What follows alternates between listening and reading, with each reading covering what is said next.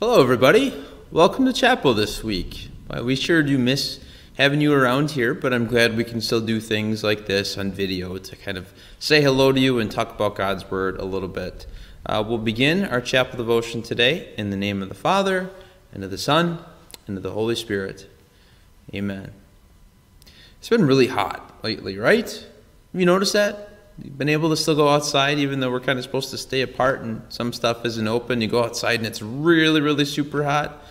I'm really bad at dealing with hot weather, but just this week I came up with a great solution.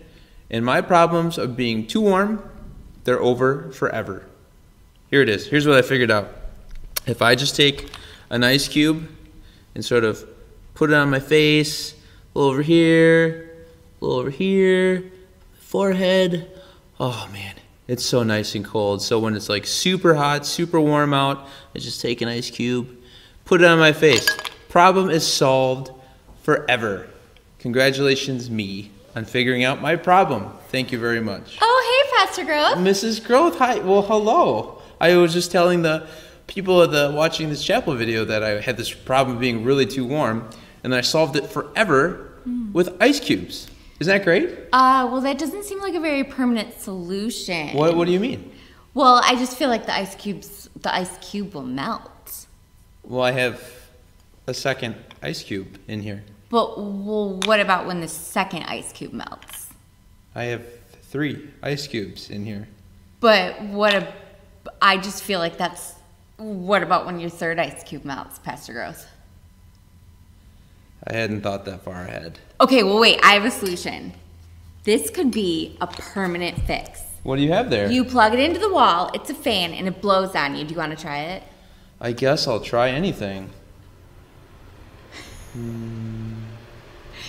Is it working? Mm-hmm. It's not going to melt, it's going to keep going. Okay, that's really nice. She's she's really smart. Yeah, ice cubes yeah, temporary. It'll make me cool for a little bit, but then they melt. She's right. Thanks, Mrs. Groth. Yeah, the fan is a way better option because the fan will last a lot longer. One of the big ideas in our chapel devotion for today is the things in this world are so short and temporary. I know that's a big word. Temporary just means it won't last forever. Like the ice cube. The ice cube might make me happy for a little while, but the ice cube is going to start to melt and then it's gone. Then it can't help me at all. The fan is something that will last a lot longer because you can plug it in. Here's our text for today. It's from our second lesson for this coming Sunday. 1 John 2:17. The world and its desires pass away, but whoever does the will of God lives forever. So you see what John is saying there? All the stuff in this world, it'll pass away. It's an ice cube. It's temporary. It's going to melt. But connections to God, God's grace, God's power, his promises, that will last forever. Let's talk a little bit about the first commandment. Do you remember the first commandment if you studied that before? First commandment is, You shall have no other gods. And Martin Luther said, What does that mean? It means to fear, love, and trust in God above everything and anyone else. What does it mean to fear God? Now that's kind of confusing because it sounds at first like we should be afraid of God. Is that what God wants? Should we be afraid of God like we're afraid of the dark or like I'm afraid of sharks? No. When it says fear God, Here's a picture of the Grand Canyon. Now, when you look at the Grand Canyon, it's so big, it's so massive. You just look at it, you think, I can't even fit this whole thing inside my head. It's so giant, it's so beautiful and awesome. I respect it. That's a little bit closer to what God wants for us is that God is so big and he's so great and so awesome that we fear him. We're not afraid of him but we recognize He is wonderful and He is the best and biggest thing in our life. What does it mean to love God? That one's a little easier, isn't it? You, you love lots of people. Whom, whom do you love? Well, you, you love your parents, you love your grandparents, maybe give them a hug like the kid in this picture. You love someone, they, they take care of you, and you show your love for them by maybe giving them a hug or telling them literally, I love you. Or maybe you write them a card, you know, Father's Day is coming up, Mother's Day was just last month. You do something to let them know that you love them. So, how do we show God that we love Him? So, fear, love, and then trust. What does it mean to trust God? Do you ever do this? Now, this is something you can do as it gets warm, uh, as pools start to open up again. Remember, maybe maybe none of you have jumped into a pool yet, or maybe some of you remember what it was like the first time you had to jump into a pool. And maybe in this picture, there's a mom in the pool. Maybe it was dad, maybe it was grandpa, grandma, or a babysitter. And they were in the pool and they said, Jump in, I'll catch you.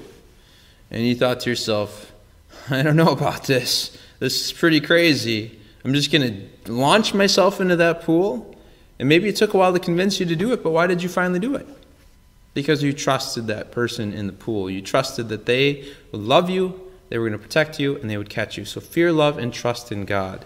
Let's talk about some of the temptations we have in fearing, loving, and trusting at something others, other, other things than God.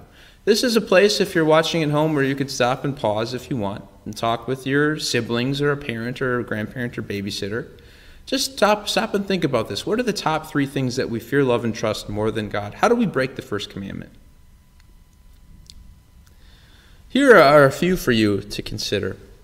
The one is one is money. Money is so much easier to love and trust more than God because we think money gets us stuff. You know, this world needs money. Money maybe makes us feel like we're safe. If I have enough money, I can fight off any problems. I can be at peace and things like that. But who gives us money? God is the one who gives us money. Uh, another one that might be a big deal for you are toys. Is it easier easy to love toys more than you love God? Because sometimes when you're little, life feels like it's all about toys the toys that I want that I don't have yet, the toys that my neighbor has, or my sibling has, or my friend at school has, and I don't have those things. I have to have those things. Why won't God let me have those things? It's easier to easy to fear, love, and trust money and toys more than God. And this one, I think, is one that happens every day. Sin. You have a picture here of two siblings arguing over the remote. Because God, what does God want us to do with our siblings and everyone else? To love each other. So when we sin, what are we telling God? Saying, I don't care about your commands. They're not important. Who are we really worshiping when we sin? We're kind of worshiping ourselves, aren't we? Because God says, don't do this, and we say, hmm, I'm going to do it anyway. We're breaking the first commandment. So, money, toys, and sin. Those are things we should really think about and be careful of when it comes to worshiping. As opposed to, here's the last question for today Why is God better than everything else? You could pause here if you want and talk through it through. Why is God better than everything else? Better than money, better than toys, better than any sin in the whole wide world. Why is He better? Talk about that for a few, few moments here. Why is God better than everything else? That's a pretty easy question for us who believe the Bible, isn't it?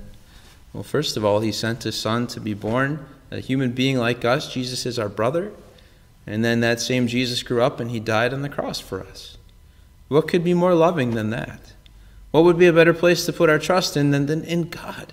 This God who loves us so much, who had a plan for salvation. And finally, what's going to happen after you and I leave this world? We're going to go home to heaven. Is there anything better in this world than heaven will be? No.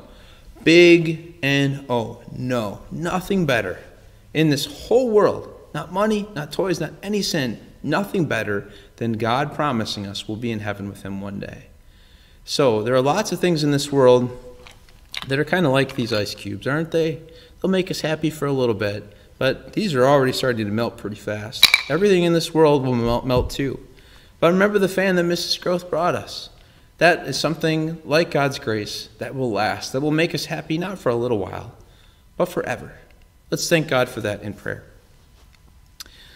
Lord God, we thank you for the promises you make to us, promises of life forever with you in heaven. Forgive us for the many times we get distracted by things in this earth that only last for a little bit. Make us smarter, wiser, make us more trusting in you. Help us understand that you alone are the one thing that we need, the one thing that will last forever. In your name we pray. Amen. All right, we're going to pause here for a second, get ready to sing our hymn for today. Uh, if you have a hymnal at home, it's hymn 422, Jesus Lead Us On. We'll be right back. Okay, we're back, and Mrs. Groth is going to join me to sing our hymn this week, which again is hymn 422, Jesus Lead Us On. We've got four verses.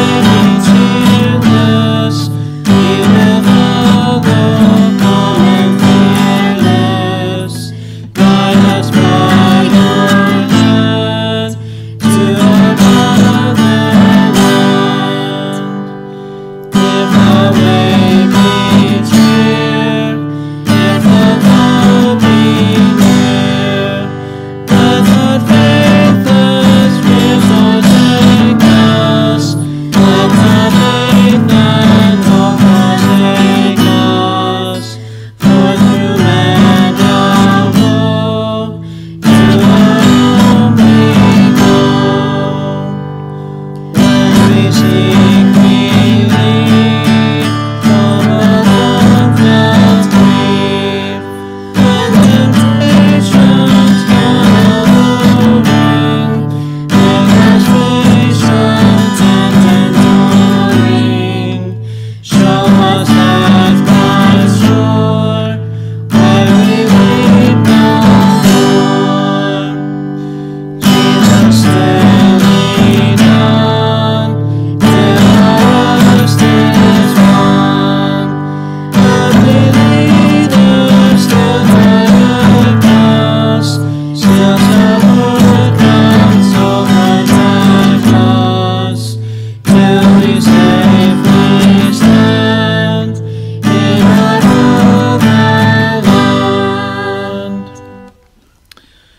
Grace of our Lord Jesus Christ, the love of God, and the fellowship of the Holy Spirit be with you all. Amen. God's blessings to you. We'll see you next week.